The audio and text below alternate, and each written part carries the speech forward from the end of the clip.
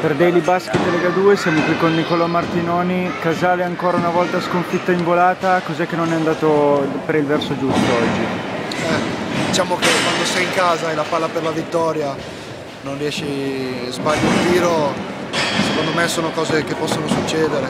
Chiaramente è stato il nostro giocatore che ha fatto più punti stasera, 39, perciò era, secondo me sono più le volte che quel tiro entra quando esce chiaramente alla fine all'overtime abbiamo commesso un errore sull'ultima rimessa e l'abbiamo pagato caro.